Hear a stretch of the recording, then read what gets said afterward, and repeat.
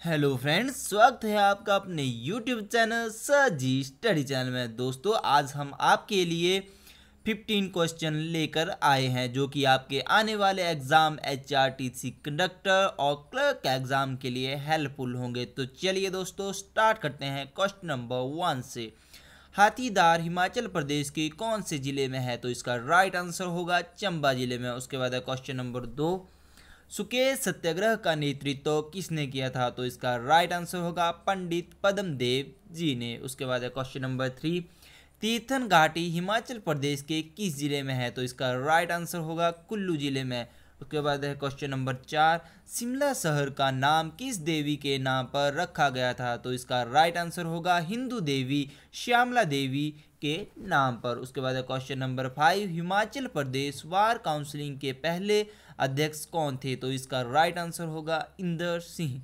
उसके बाद question number six Himachal Pradesh फ़सल विविधीकरण संवर्धन परियोजना को किस देश द्वारा द्वितीय सहता दी जा रही है?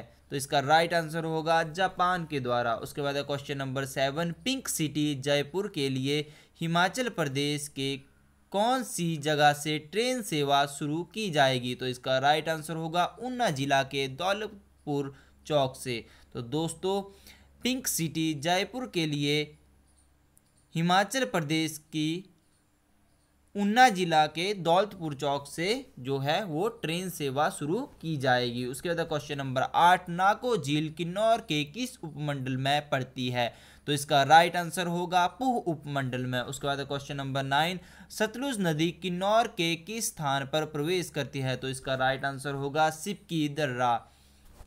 उसके बाद क्वेश्चन नंबर दस सतलुज की सबसे बड़ी सहायक नदियाँ कौन सी है? तो इसका राइट आंसर होगा स्पीति और बसपा। उसके बाद है क्वेश्चन नंबर इलेवन डगसाई किस राजा के रियासत की जागीर थी? तो इसका राइट आंसर होगा महाराजा पटियाला। उसके बाद है क्वेश्चन नंबर बारह, ज्यूरी में भेड़ प्रजनन केंद्र की स्थापना कब हुई? तो इसका राइट आंसर होगा उन्नीस सौ पैंसठ में। उसके बाद है क्वेश्चन नंबर थर्टीन भाखड़ा बाँध से बिलासपुर कस्बे के लिए विद्युत आपूर्ति कब शुरू की गई? तो इसका राइट आंसर होगा 9 जनवरी उन्नीस उसके बाद है क्वेश्चन नंबर 14 हिमाचल प्रदेश के सोलन ज़िले में जिप्सम धातु किस स्थान पर पाई जाती है? तो इसका राइट आंसर होगा कुठार। उसके बाद है क्वेश्चन नंबर 15 हिमाचल प्रदेश में मकर नामक धार्मिक नृत्य किस क्षेत्र में काफ़ी प्रचलित है? तो इसका राइट आंसर होगा लाहौर स्पीति।